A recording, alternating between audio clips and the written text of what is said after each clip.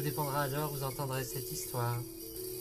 Bienvenue dans le jardin où j'ai cueilli pour vous un quatrième conte. Et aujourd'hui, comme le ciel est bleu, j'ai envie de vous emmener à travers l'espace à nouveau jusqu'en Afrique, loin du 9-3 où nous résidons, pour euh, découvrir un joli village d'une cam. C'était quand il y avait un temps avant le temps. Et dans ce temps-là, dans ce village-là, vivait dans sa case au toit de chaume un homme, Elak.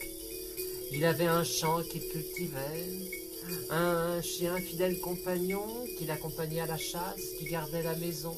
Mais dans cette maison, il n'y avait que lui, jusqu'à ce qu'enfin il rencontre euh, l'amour. Et avec sa femme, qui partageait maintenant sa vie, il aimait jouer à ces jeux qui font qu'on ne voit pas le temps passer. J'imagine que certains parmi vous ont beaucoup de temps pour jouer aussi dans leur maison en ce moment. Et à force de jouer à ces jeux qui font qu'on ne voit pas le temps passer, ils ont donné naissance, enfin sa femme a donné naissance à un premier enfant. Il était né avec un gros ventre. Et dans ce village-là, on appelait les enfants du nom de leur particularité physique. Aussi, on l'a appelé Gros Ventre. Gros Ventre grandissait, tandis que Eloc et sa femme à nouveau jouaient à ces jeux qui font qu'on ne voit pas le temps passer, si bien qu'à un moment donné, un deuxième enfant est né. Et celui-ci était né avec une toute, toute, toute petite bouche. On l'a appelé Petite Bouche. Et le temps passait. Les deux enfants grandissaient, jouaient, et leurs parents aussi, un peu moins souvent, mais ils jouaient encore à ces jeux qui font qu'on voit pas le temps passer, et était né un troisième enfant. Et celui-ci était né avec de toutes, toutes, toutes petites jambes. Aussi on l'appelait Petite Jambe.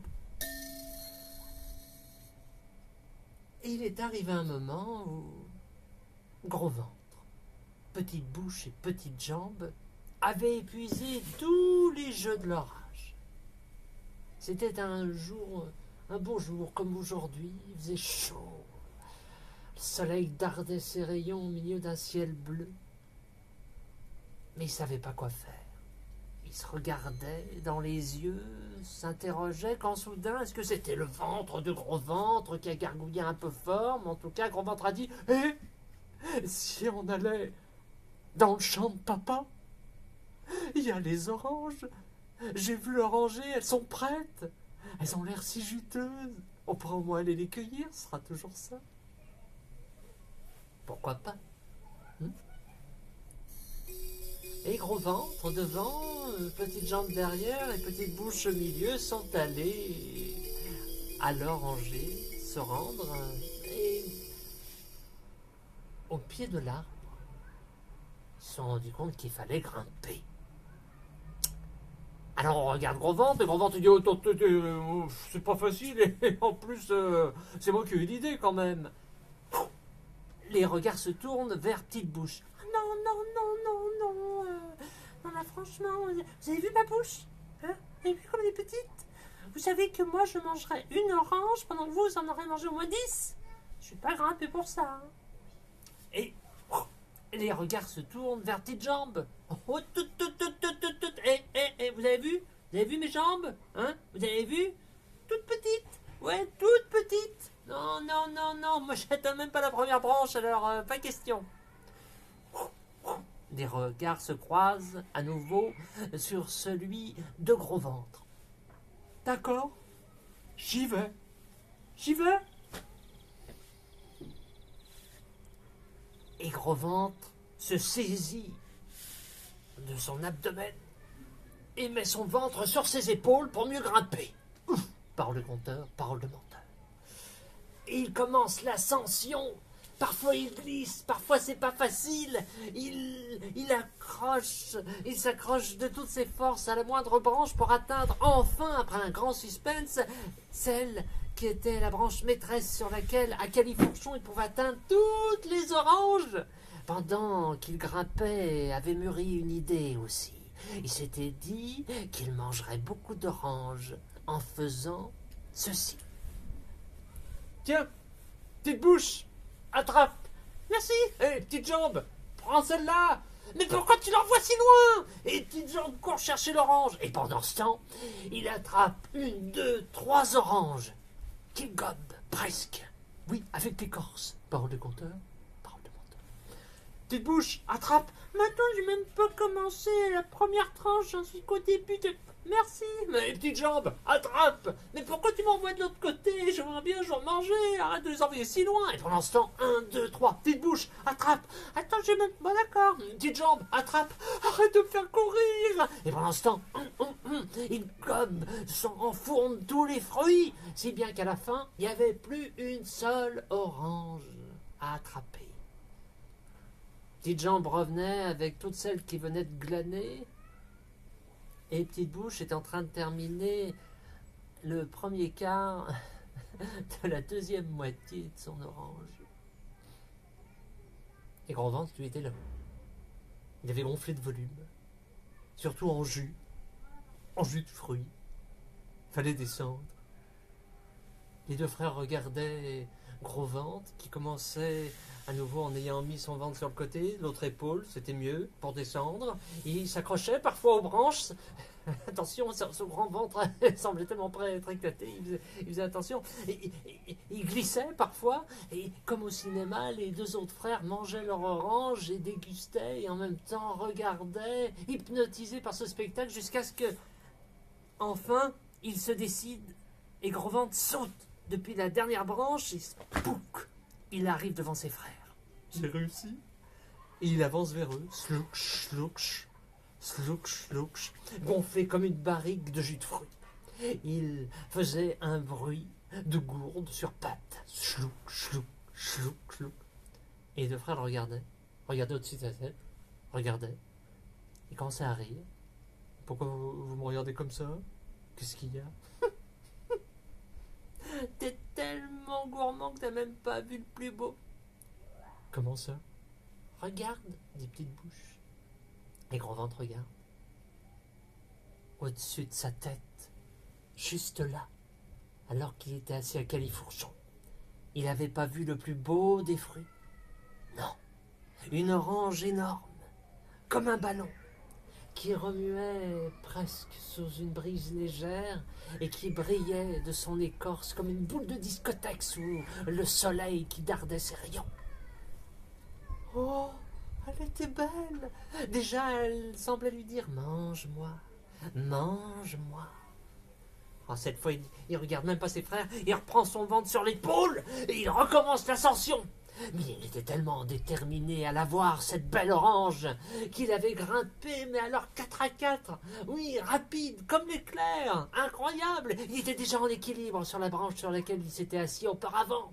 Il avançait, tout doucement, le ventre toujours sur l'épaule, et l'équilibriste s'approchait, faisait trembler la branche sur laquelle il était debout, en équilibre. Et là, l'orange au-dessus de lui qui semblait toujours lui dire Mange-moi, mange-moi, viens. Elle était si belle, elle semblait si juteuse, l'écorce semblait si douce. Il tendait ses doigts de tout son être, tendu comme un arc, tandis que les deux frères regardaient. À nouveau ce suspense Hitchcockien se dérouler au-dessus de leur tête. Est-ce qu'il allait la voir, cette orange? Il se tend encore, ses doigts commençaient à toucher l'orange, oui, effleurer le fruit, qui semblait toujours lui dire Mange-moi, attrape-moi. Et au moment où il semblait établir le contact, il y avait, à force de se pencher, ce gros ventre qui glissait de son épaule. Et finalement, oui, mesdames et messieurs, la loi de la physique s'applique même dans les contes. Et aussitôt, son ventre a chu et gros ventre a suivi derrière. Explosion de gros ventre Il y en avait partout Terrible On n'avait jamais vu ça Oui, oui. Il y en avait même sur les deux frères, les deux frères qui commençaient à, à réaliser ce qui venait de se passer. Et soudain, petites jambes et petites bouches se mettent légèrement à rire. C'est comme un petit fou rire au début. Vous savez, on vient de voir un beau spectacle. Ça gonfle, ça grandit, et petite bouche rit encore plus fort que petite jambe. Il n'arrête pas de rire si fort qu'on commence à voir sa bouche s'ouvrir, ce qu'il ne faisait jamais d'habitude. Et petite jambe s'arrête de rire parce qu'il voit que son frère, lui, n'arrête pas, ne cesse pas, et sa bouche s'ouvre, grandit. On voit les dents de petite bouche devant cette explosion. Te rends compte te compte Il y avait le gros ventre, il était là, il splash partout. Tiens, petite jambe, t'en as encore sur toi. C'est depuis ce jour-là, il faut le savoir, qu'a été inventé l'orange sanguine. Parole de conteur, parole de menteur. Et donc il rigole, mais alors à plein poumon. Et petite jambe essaie de l'arrêter, il lui dit Arrête, arrête, arrête. Oh, mais tu as combien de dents? Il avait l'air d'avoir plus que 32 dents, petite bouche là-dedans. Arrête Et petite bouche rigole, rigole encore plus fort. Ça retentit dans le champ, peut-être même dans le pays tout entier, tellement il rit. On entend les enfants au loin, mais c'est lui, il y a le rire qui fait tout le tour en écho. Arrête, arrête, petite bouche, arrête, arrête. Mais trop tard. Petite bouche venait de rire un peu trop fort. Et il est tombé, d'un sourire ouvert jusqu'aux oreilles. Mort de rire. Oui, mesdames et messieurs, c'est depuis ce temps-là. C'était le premier être à mourir de rire. Parole de conteur, parole de. Et devant cette catastrophe à nouveau, petite jambe se dit faut prévenir les autres, faut prévenir la papa et maman. Et en même temps, c'était tellement, tellement drôle tout ce qui se passait. Parce que déjà, il, courait comme ça et annonçait il a un gros ventre. Il est tombé, il a fait splash. Et puis alors, il y a une petite bouche, il rigolait, il a fait crac. Il haranguait la foule au loin. Il d'avoir des cultivateurs, des chasseurs. Et puis il approchait du village, il courait tellement à vouloir lancer la nouvelle. Et à rire lui aussi, à rire à lancer la nouvelle. C'est bien qu'il n'a pas vu que ses petites jambes, il les a pas senties si faibles tout d'un coup, se briser sous la course. Et il a débarroulé comme ça jusqu'à ce que sa tête heurte un rocher, une pierre sur le chemin. C'était le premier accident de la route au monde. Par le compteur, par le menteur. Quand les parents et accompagnés des experts sorciers qui ont essayé de reconstituer tous les morceaux de cette histoire, quand on a compris ce qui s'était passé, on a tiré une leçon de cette histoire. Et aujourd'hui, on dit encore dans ce village qu'il ne faut jamais, jamais rire du malheur des uns. Parce qu'on ne sait jamais, jamais ce qui peut vous arriver.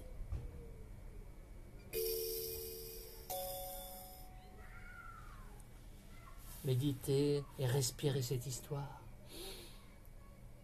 Et prenez soin de vous. À bientôt.